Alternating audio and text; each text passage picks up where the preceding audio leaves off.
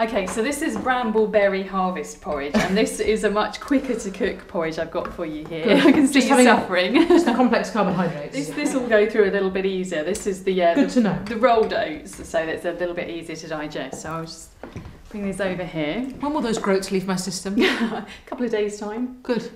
So this this porridge I'm actually cooking up with milk and with water, so it should be a nice cream. So this porridge. is very familiar. We, this is the, exactly the sort of thing you. This is the kind of thing. Three or three or four minutes in the morning, um, you can cook this up.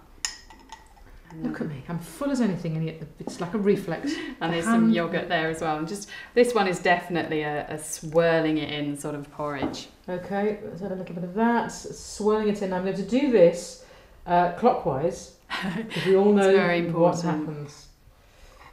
Okay. Good.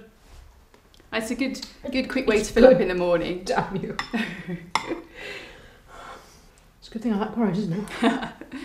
um, so, if we compare this rather fanciful breakfast dish here with this, which is what Mary's meals are given to kids in Malawi, this is likuni phala, so it's maize based and it's got uh, vitamins and minerals within Yeah. that.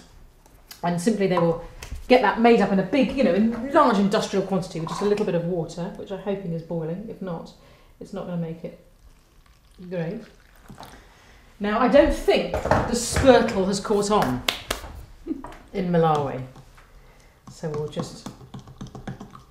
So have you made maize-based porridge before? It's like a, a mealie pop, which is a, an African version of porridge. Yeah, um, yeah. I mean, porridge you can make with any grain. It's just Yeah. in Britain we're used to using oats, so this is a You great example of porridge. quinoa Exactly. Yeah, or- yeah. Okay. Are you, are you up for a taste of this? No, absolutely. Okay. Do you want to go first? Right. Oh, it smells quite good. It smells like popcorn. That's It That's reminds me really of good. Mexico. Yeah, that kind of maizy Yeah. kind of. Well, it is really good. it is really good. Yeah. And just seven quid will pay for a child to have this every single morning for a year. Yeah. It's extraordinary.